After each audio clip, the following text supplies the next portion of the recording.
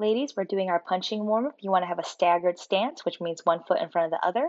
We're going to stick with one foot lead first, and then we'll switch to the other side for 20 seconds, the other side leading. If you're doing body weight, it's open hands. If you're going to do dumbbells, you can have dumbbells in your hands. Move forward and backward. Let's start practicing. Let's